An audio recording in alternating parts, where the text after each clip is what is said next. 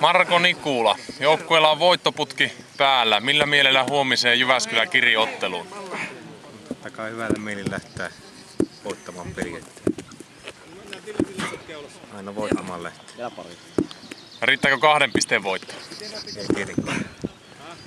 Mihin ottelu ratkeaa? Juoksu. Kuka niitä lyö? No lyöjät lyö. Oletko miettinyt jo mihin itse meinaat lyödä, jos tulee kotituspaikkoja? Kyllä ne on valmiina jo ennakkoon. Selvä juttu. Tsemppiä huomiseen.